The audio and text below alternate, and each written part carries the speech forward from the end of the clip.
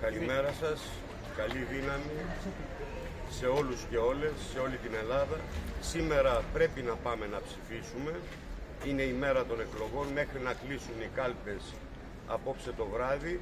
Πρέπει όλοι να βρισκόμαστε εκεί για να κάνουμε το ΚΚΕ πιο ισχυρό, να πάει πολύ πιο ψηλά, γιατί μόνο έτσι θα μπορέσει να υπάρξει ισχυρή λαϊκή μαχητική αντιπολίτευση 100% και στη Βουλή και στους ερχόμενους λαϊκούς αγώνες. Ευχαριστώ πολύ. Καλή δουλειά.